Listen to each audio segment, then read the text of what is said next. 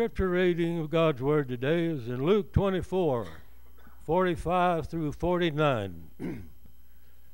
then he opened their minds so they could understand the scriptures. He told them, This is what is written the Messiah will suffer and rise from the dead on the third day. And repentance for the forgiveness of sins will be preached in his name to all nations, beginning at Jerusalem. You are witnesses of these things. I'm going to send to you what my Father has promised. But stay in the city until you have been clothed with the power from on high. So be it.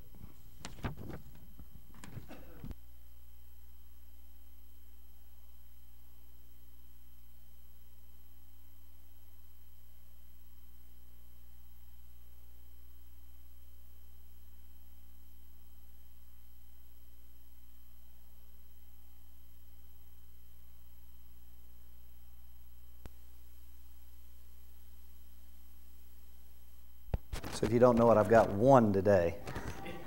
It's a lot easier than four, so I should look a little rested. How would I know? Because I watch you take care of him. How's that? that's exhausting, let me tell you. Let's start with prayer. Father in heaven, we do thank you and praise you that we have a warm place to go, Lord. We thank you for this snow, and Lord, we pray for those that have been belted with snow so much more than we have, Lord, and those that um, have needs of heat and other things right now. Lord, we are so blessed, but not blessed because we're taken care of, but blessed because we're in a right standing with you, that we know you because we know Jesus. Lord, fill us with your spirit today that we may be more and more like Christ that we hear your words and obey them, Lord. Put them into practice so that we can be the holy people that you have called us to be. That we can be a light to this world, that we can show others the love that you have for them through Jesus Christ. Equip us today, Lord, each and every day to, to walk this walk until Jesus Christ returns.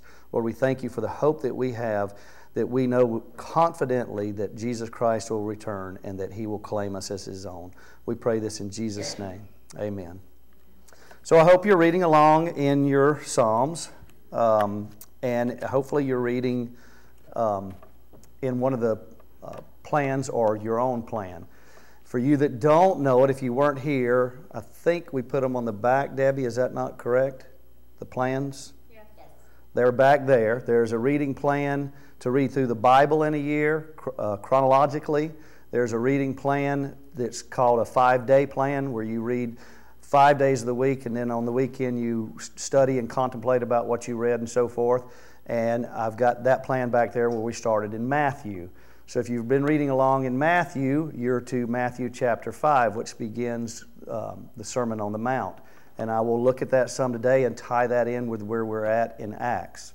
If you didn't get one either, Sherry, show them the little stone Everybody should have a devotional that you're following along in Psalms, and I got a, a brick, whatever you want to call it, um, so that you can put it in your house also to tell you to stand firm in your reading and in your walk with Jesus Christ. So if you don't have one of those, I still have some of those. I think everyone got um, the Psalms reading. If you didn't, please come see me. I might have a copy still around. If I don't, I will get one and you should be on whatever today is. I believe it's January 8th, correct? As we're walking through the Psalms.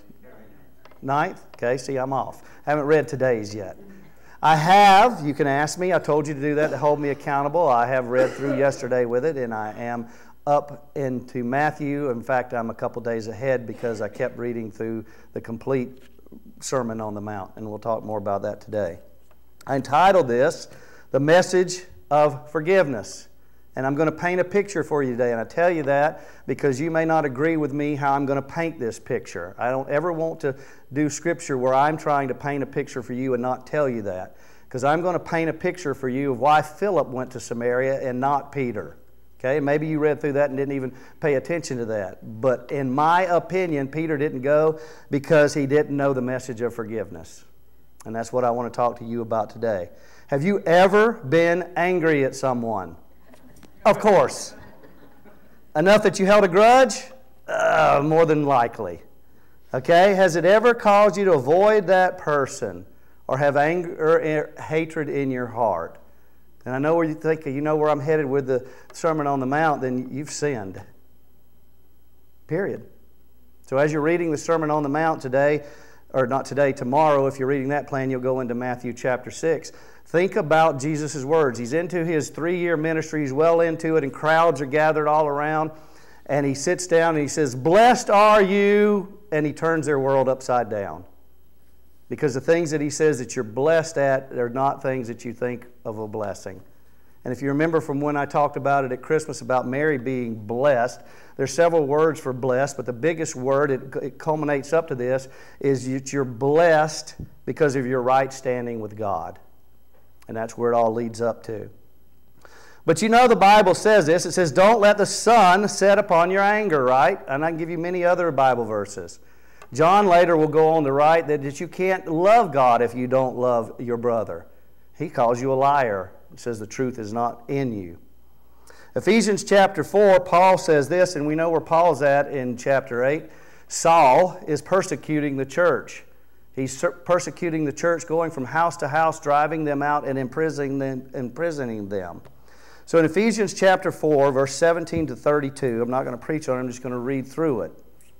So I tell you this and insist on it, on it in the Lord, that you must no longer walk as the Gentiles do, and the futility of their thinking. They are darkened in their understanding and alienated from the life of God because of the ignorance that is in them due to the hardness of their hearts.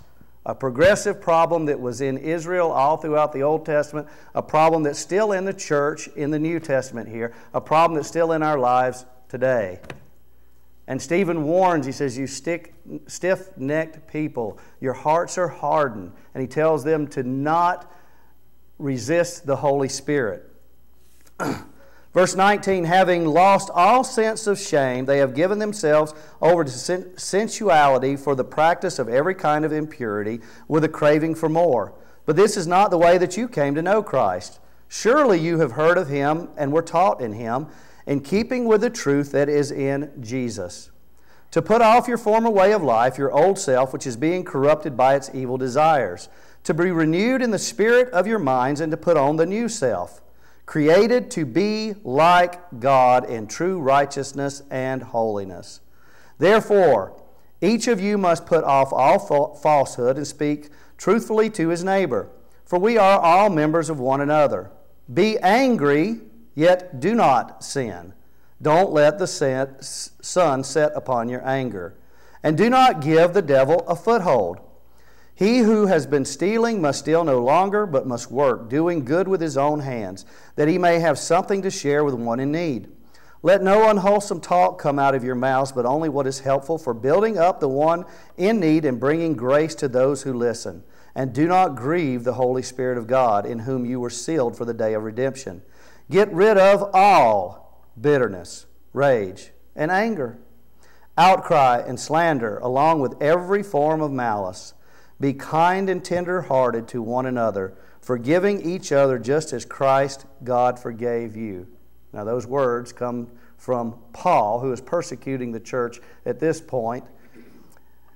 And he, real, he, when he changes, he realizes the love of Christ in his heart, the love of God, that he cannot not forgive others.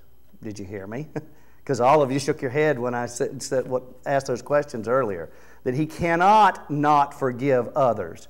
And look at that example of Stephen, how he never tried to, to justify himself or anything. He thought about their salvation. And as they were stoning him, he cried out and said, Forgive them.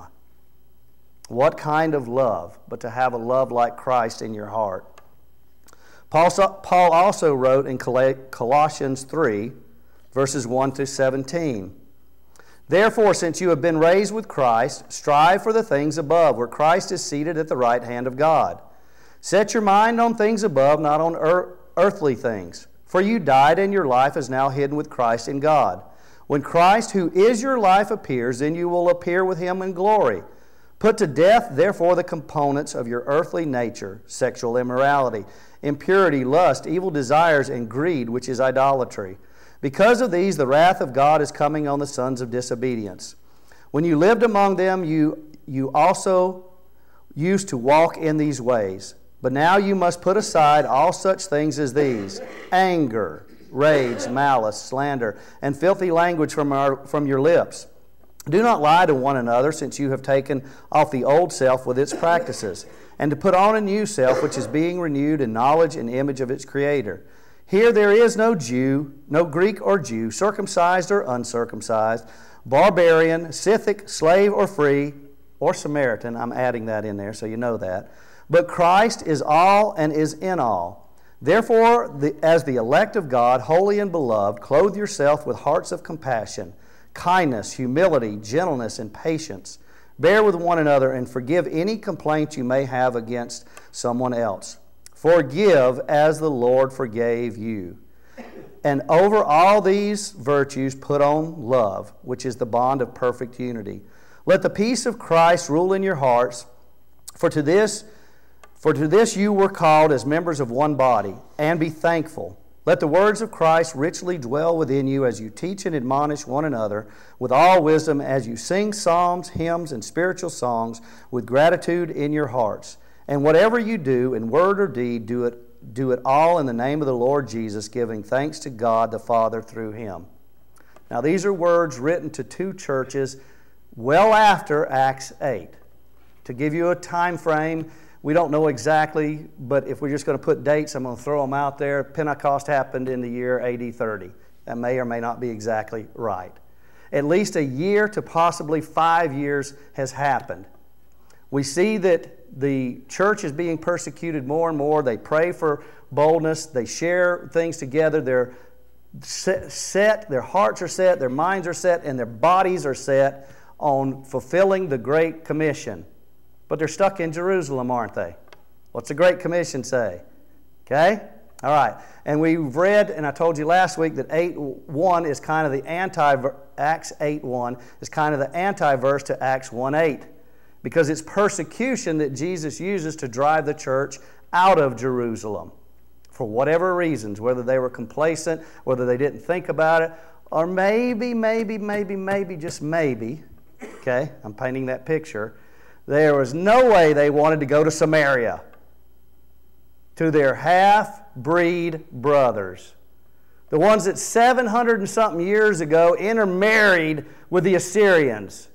And they worship differently. They worship on a different mountain, everything else, to the point now you don't even walk through Samaria to go to Galilee. You walk around. But you remember John chapter 4, right, where Jesus went to Samaria. To, he had to go there. He, he was set resolutely to go there. You might also remember when Jesus was resolutely set to go to Jerusalem and went through Samaria. Well, when he went through Samaria in John chapter 4, the disciples said, Why is he talking to this woman? They didn't see the need because they felt like the Samaritans were their trash half brothers. They did not fellowship with them. How can you know the love of Jesus and have that in your heart? And we see hypocrisy in the Pharisees, and, and we see that, but do we see our own hypocrisy? When we read those two sets of scriptures that I read, we can sit there and say, Yeah, I don't do those things, but do you do the other things that are mentioned in them? Anger was mentioned in both of them. Don't let the sun go down on your wrath was mentioned. To have a new self, where most of all, the biggest virtue you can put on after you forgive someone is love. You remember when Peter asked how many times he was supposed to forgive? Do we do that? Or do we pick and choose the things that we do well or we don't have a problem with? Because that love your enemy stuff is tough, ain't it, Merle? It's tough, but it's scriptural. And unless you learn, know to learn to love your enemy, how can you be like Stephen, who was like Christ? And we have the example, example of a layperson, one of the seven chosen, because there's a grievance in the church again. Our people aren't getting taken care of as good as your people. Greek versus Jew. They're, bo- they're both have come to, to the salvation of Jesus Christ, but they're not filthy, nasty Samaritans. So we have a little, little problem there between the Greek and the Jew, but we don't have a problem between the, the Jew and the Samaritan because we're not going to deal with the Samaritans at all. You see the picture that I'm painting? Do you see where I am painting it from from Scripture? I mean, we see Peter being the rock, But I don't know why the apostles weren't driven from Jerusalem. I know that also tells me undoubtedly that the Great Commission is not just for the 12 or the 120, it's for everyone. That as we go along, we're to preach wherever we're at the gospel of Jesus Christ, and we have to live holy lives or we're nothing but hypocrites. The message will still be the same. People will still come by the power of God to salvation. But you might stand there that day and say, Lord, Lord, did we not do mighty miracles in your name? And he might say, Depart from me, I do not know you. How is your heart?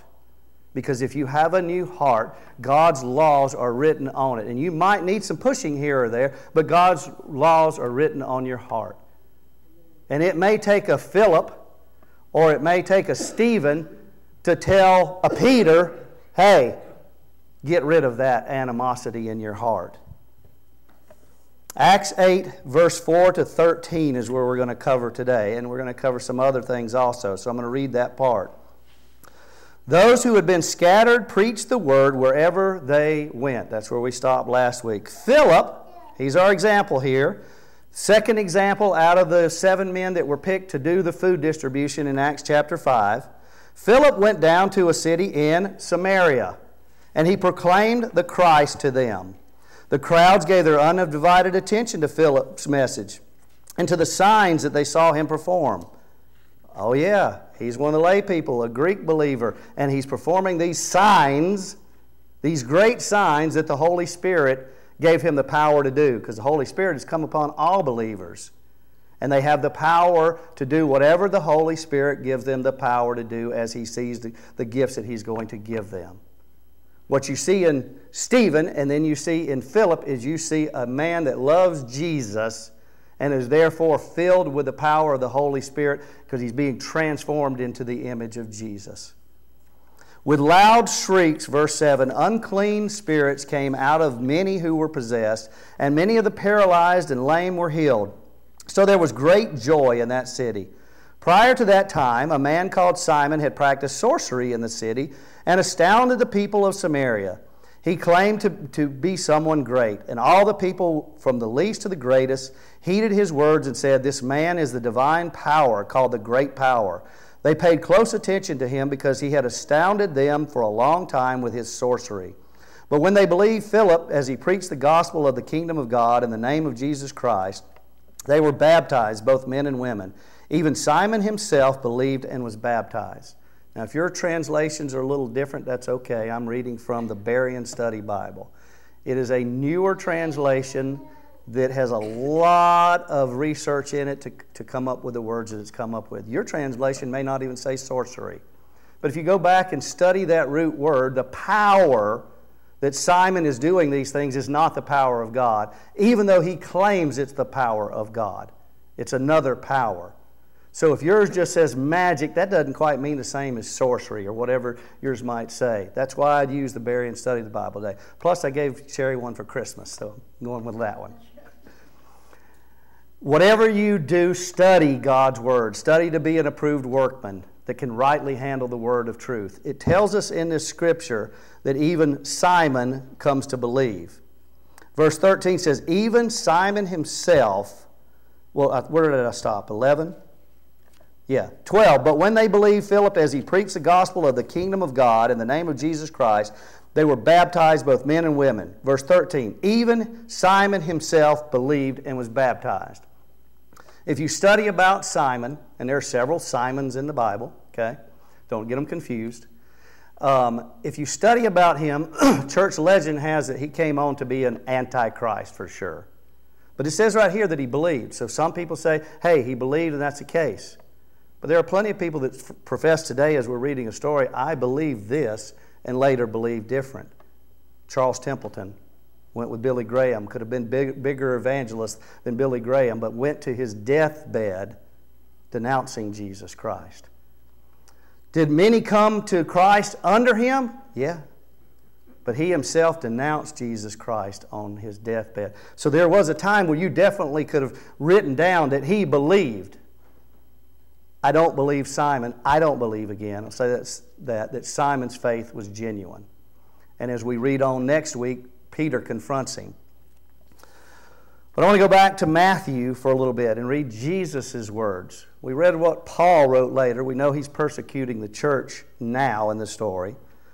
But where we're at, if you read Matthew chapter 5, you read this You have heard.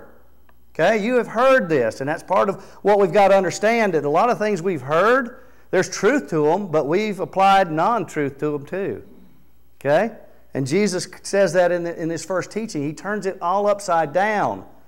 You're not to be like the world anymore. You have been given, if you believe in Jesus Christ, new life by the power of God who dwells in you. You are a temple, you are a royal priesthood. You are God's bought with the price, the blood of Jesus Christ. Your life is not your own. I know you struggle with that because I struggle with that all the time. What does that mean? What am I supposed to do? Well, the disciples gave up everything. But Peter wasn't willing to go to Samaria necessarily. In Matthew chapter 5, verse 21, Jesus said, You have heard that it was said to, to the ancients, Do not murder, and anyone who murders will be subject to judgment. We know all that.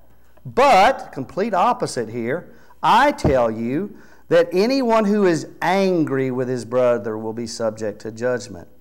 Again, anyone who says to, to his brother, Raca, which is just, I don't want to have anything to do with you, will be subject to the Sanhedrin or the council. But anyone who says, You fool, will be subject to the fires of hell. The Jews treated the Samaritans as they were not worthy of salvation. In some of their prayers, if you study, their prayers were actually to take them out of the resurrection. They hated them that much. Wow. And these are descendants from the 12 tribes of Israel now. wow. So if you're offering your gift, because I think I'm in great standing at the altar, and there remember that your brother has something against you, and how can you not when you have that kind of animosity in your heart? Leave your gift, therefore, before the altar first and go be reconciled to your brother, then and come and offer your gift. Remember when the religious leader asked Jesus, Well, who is my brother? And he tells him this story of a good Samaritan that showed so much more than the priest or the Levite did about mercy and grace and love and compassion. Jesus goes on to say in Matthew chapter 5, You have heard that it was said, Love your neighbor and hate your enemy. But I tell you again, a complete opposite love your enemies. I just harassed Merle. And pray for those who persecute you, that you may be sons of your Father in heaven. He causes his sun to shine, to rise on the evil and the good, and send rain on the righteous and the unrighteous. If you love those who love you, what reward will you get? Do not even tax collectors do the same? And if you greet only your brothers, what are you doing more than others? Do not Gentiles do the same? I wonder if Peter asked himself that when Philip went to see the Samaritans. Or did, did Peter again not realize that Samaria were people created in God's image? People of the 12 tribes of Israel, people that deserved salvation because we don't deserve salvation just as much as you or I who claim we deserve salvation.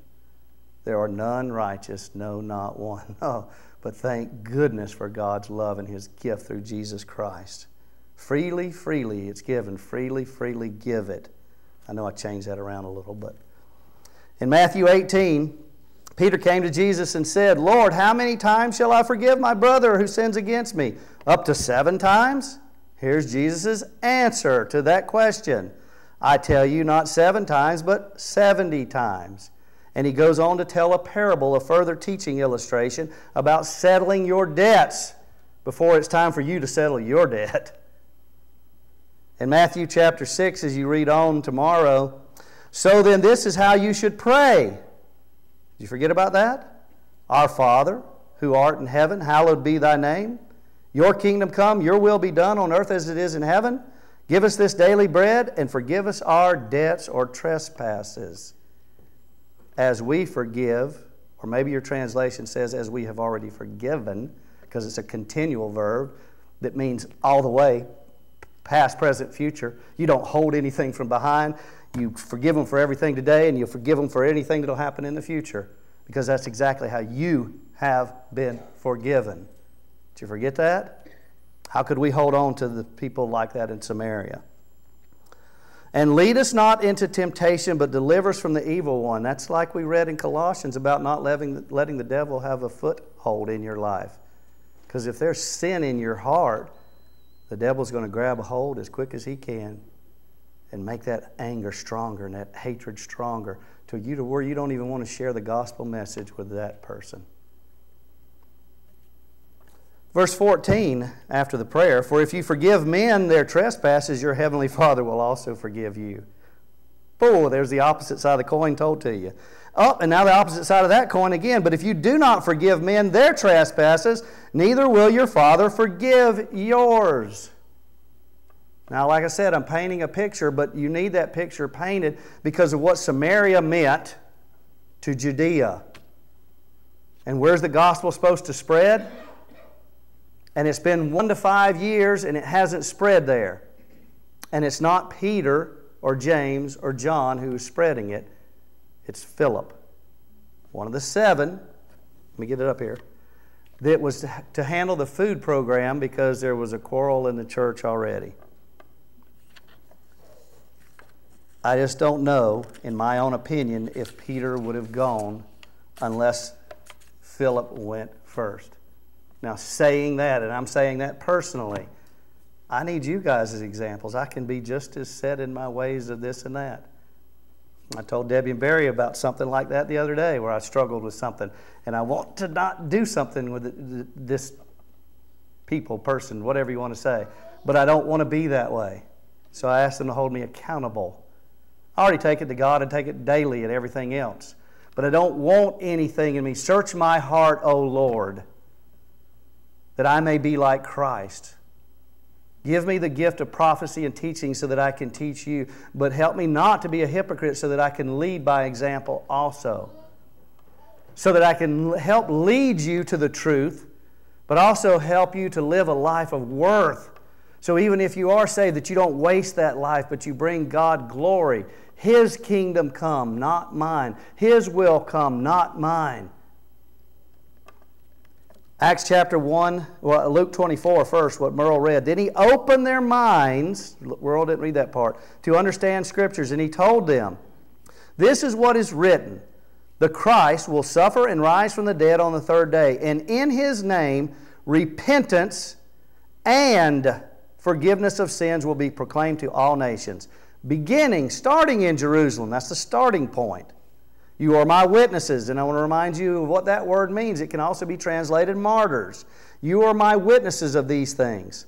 And behold, I am sending you the promise of the Father, but remain in the city until you have been clothed with power from on high. That's how long they're supposed to remain in Jerusalem. One to five years has happened. Not saying that it's been too long, not saying that it, it, everything's in God's time. I'm not saying that at all. He is 100% sovereign. But He will use all things to bring Him glory and honor. Acts 1 8 said, But you will receive power when the Holy Spirit comes upon you, and you will be my witnesses in Jerusalem and Judea and Samaria and to the ends of the earth. That word power reminds you of that. It only equated to the Holy Spirit and it's dynamis, it's dynamite power or gale first gale force tempest wind power. Something that nothing can stand up to. So explosive when it happens, it just explodes and you see what's left as a result. And this is the same kind of power that Simon is claiming to the Samaritans because don't forget, we fight a spiritual battle. Acts 8 1, though, says, And Saul was there. Here's the persecution. And we see Saul coming up. We would never dream he's going to later establish churches because now he's persecuting. Saul was there giving approval to Stephen's death.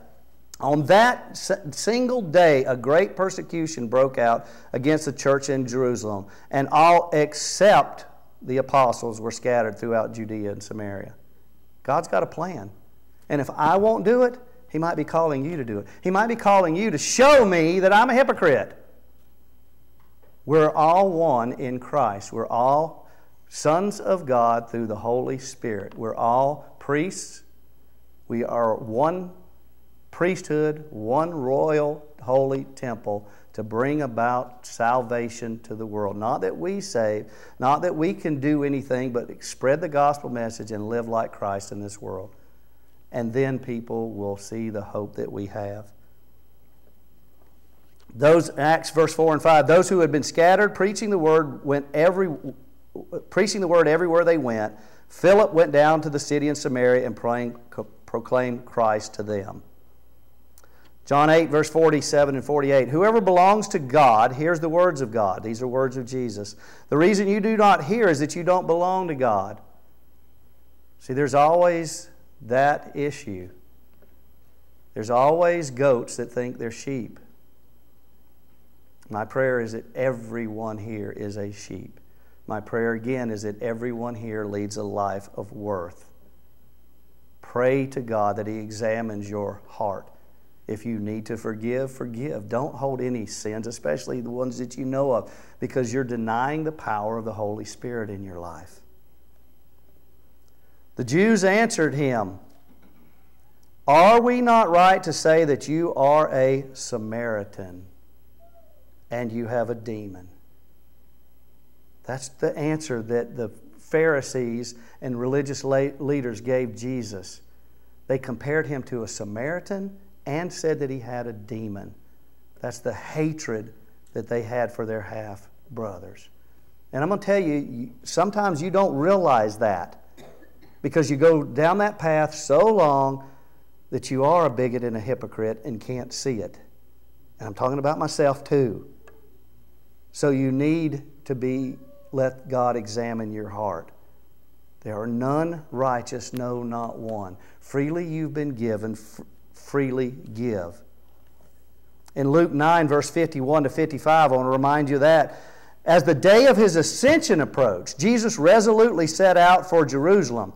He sent his messengers on ahead of him. He went to a village, into a village of the Samaritans to make arrangements for him, but the people there refused to welcome him because he was headed for Jerusalem. He had a purpose. It, it was in God's will that they reject him at this time because he had to get to Jerusalem. It was a part of God's plan. But when the disciples saw this, verse 54, James and John, they asked, Lord, do you want us to call down fire from heaven to consume them? Do you see the hatred? How many times have you said something about that person? Maybe it wasn't that you wanted to rain down fire, but Jesus is clear that if you have hatred in your heart, you need to get rid of it before it festers and turns into sin and before the devil gets a foothold in your life. Remember what Stephen said in Acts chapter 7, verse 51 You stiff necked people with uncircumcised hearts and uncircumcised ears. Do you know what the word Simon means? It's not a Hebrew word, it comes from a Hebrew word Shema. What's that mean? Hear. Listen, O Israel, hear and obey. If you hear, you've got to obey. They go hand in hand. As a parent, you say, go clean up your room. There is no not go clean up your room. There didn't, I heard you, but I'm not doing it. Love your neighbor. You've heard it say that and hate your enemy. But I say to you, love those and pray for the, your enemies and pray for those who persecute you. Do you do that? I'm not very good at that. Verse 55 But Jesus turned and rebuked them. Are you like Jesus? Do you have love in your heart? Are you thankful for the gift that you have been given? Ephesians 6:10 through 12 reminds us that we're facing a spiritual battle. Paul is closing this chapter out again this is the one persecuting the church now. That's why I'm going backwards and forwards. Finally, be strong in the Lord and His mighty power. But put on the full armor of God so that you make, can make your stand against the devil's schemes, because he is scheming against you, trying to rob God, God of his glory. For, your, for our struggle is not against flesh and blood, but against the rulers, against the authorities, against the powers of this world's darkness, and against spiritual forces of evil in the heavenly realms. But you, O child of God, Son of the Most High, daughter of the King, you have been clothed with power from on high to do mighty miracles, to do greater things than Jesus has done, so that you can proclaim the message of Jesus Christ. I've said it before, I'll say it again. If you're not professing Jesus Christ in English, you'll probably never experience tongues of any other language. If you're not praying, how can you feel like you're going to pray for healing for somebody and it come about if your prayer life's not where it's supposed to be. If you have hatred and animosity in your heart for your brother, how can you expect your message to your children and your grandchildren to be heard? So then, this is how you should pray. Our Father in heaven, hallowed be your name. Your kingdom come. Your will be done on earth as it is in heaven. Give us this day our daily bread, and forgive us our debts as we also have forgiven our debtors. And lead us not into temptation, but deliver us from evil. Now, before I didn't say it because some of your versions have it, some of them don't because there are manuscripts that don't. But this is there in the King James. For thine is the kingdom and the power and the glory forever and ever. It's a battle of kingdoms the kingdom of heaven, the kingdom of hell, the kingdom of myself with me on the throne, or the kingdom with Jesus on the throne. And guess what? If myself's on the throne, Satan's really the one sitting there. I have to remove myself. I have to become less, and Jesus has to become more in my life. And that word there in the King James is dynamis, that power that comes from heaven given to men. It's the power by which you might be saved, but it's also the power that you can live, and it's the power that you will proclaim the message to the world. For if you forgive men of their trespasses, your heavenly Father will also forgive you. But if you do not forgive men their trespasses, neither will your heavenly Father forgive you. Now I'm going to speed you on into Tuesday. Matthew chapter 7. I, I said it earlier. Verse 21. Not everyone who says to me, Lord, Lord, will enter the kingdom of heaven, but only the one who does the will of my Father in heaven. Many will say to me on that day, Many Lord, Lord, did we not prophesy in your name and in your name drive out demons and perform many miracles? You know how the Sermon on the Mount ends? He says, The wise man builds his house upon the rock, correct?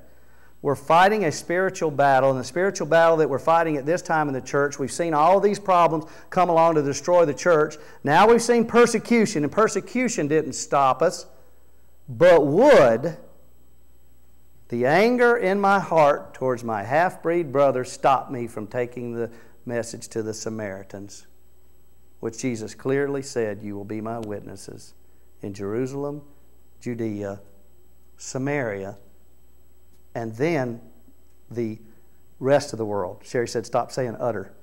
Utter. Correct?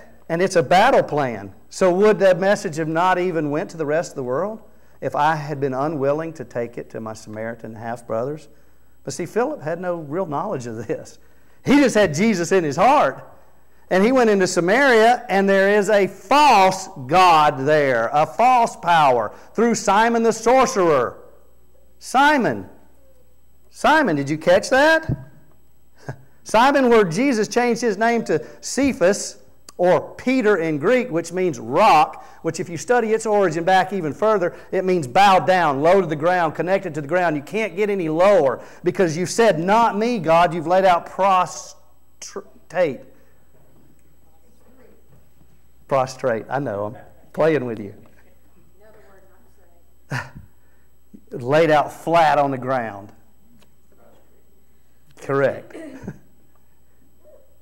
That's what a rock is. It doesn't move. It's fixed on the ground because it knows who created it. And even the rocks will cry out if we don't. Think of these things. I don't think, in my opinion, that Peter would have gone until Jesus showed him his hypocrisy through someone else. But here's what happened in Acts chapter 8. Those who, verse 4, those who had been scattered that's what caused this, preached the word wherever they went. Philip went down to the city of Samaria, or the because that is also the capital city, or the region of Samaria, and proclaimed the Christ to them. The crowds gave their undivided attention because they were looking for the Messiah also. Think back to John chapter 4. They gave their undivided attention to Philip's message and to the signs they saw him perform because he was walking step in step with the Spirit and he performed the miracles. With loud shrieks, unclean spirits came out of many who were possessed. We still fight that spiritual battle. There's still demons out there, the same number there were before, that are trying their best to get you to pledge allegiance to the kingdom of hell. Many came out, many paralyzed and lame were healed. So there was great joy in that city. Prior to that time, though, a man named Simon who should have heard and obeyed the word of Jesus, but didn't. He's hearing obeying the word of Satan. He had practiced sorcery, power from Satan, in the city, and that astounded the people of Samaria. He claimed to be someone great, and all the people, from the least to the greatest, heeded his words. So if we wouldn't have went there to that land, we would be guilty of them going to hell, their blood would be on our hands. This man is the divine power, called the great power, meaning that he's from God, but he's not. He's a fake, he's an antichrist. They paid close attention to him because he had astounded them for a long time with his sorcery. Another reason that the Spirit gives us abilities and power so that we can compete with the powers and abilities that are from other forces. Verse 12, one of the greatest buts in the Bible again. When they believed Philip as he preached. Boy, I love the Berean Study Bible there. Philip as he preached. No prepared sermon, nothing else, just the love of Jesus in his heart. He hadn't been brought up with the Old Testament forever, he was new to it.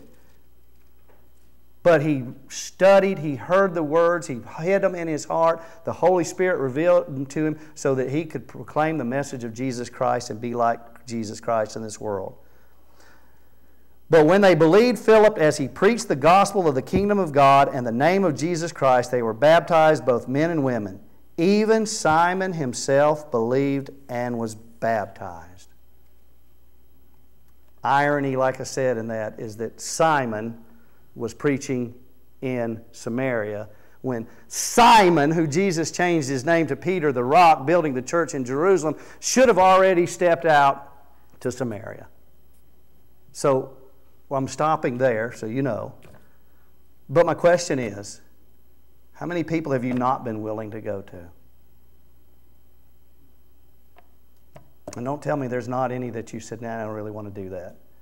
Because then, if you do, I'm going to go back to John and say that you're a liar. And I don't normally say that because I know we're all guilty of that.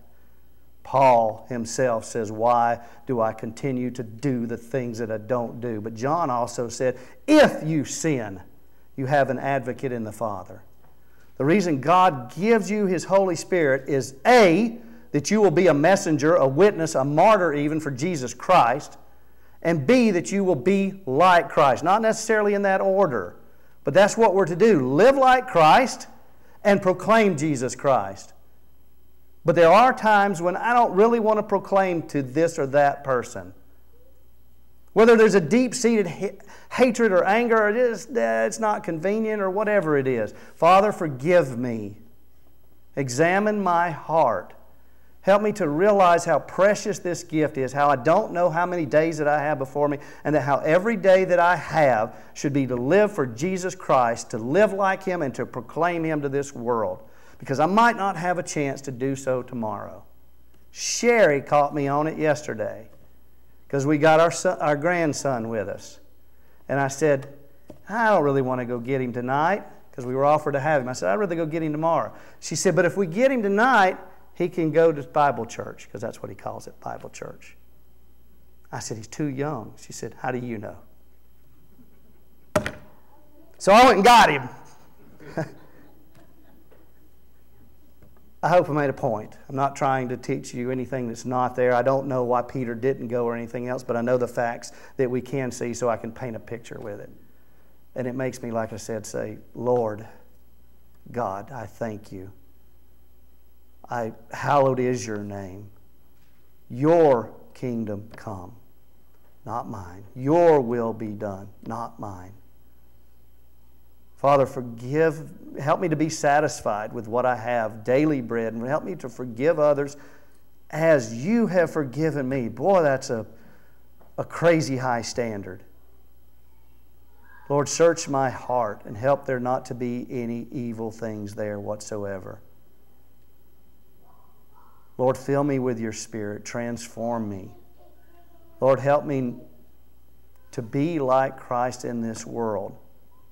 What does it profit me to gain the whole world and not necessarily lose my salvation, but to not have done the job that you set out for me and given me everything in heaven? Jesus' authority and Jesus' power that he walked on this earth. Lord, help me to not take that for granted, but to use that effectively and efficiently for your kingdom. We thank you and praise you, Lord. We thank you for the freedom that we have in this country. And Lord, may we be bold to preach, the, preach Jesus and his resurrection and your grace, no matter what circumstances we're in. We just thank you and praise you in Jesus' name. Amen.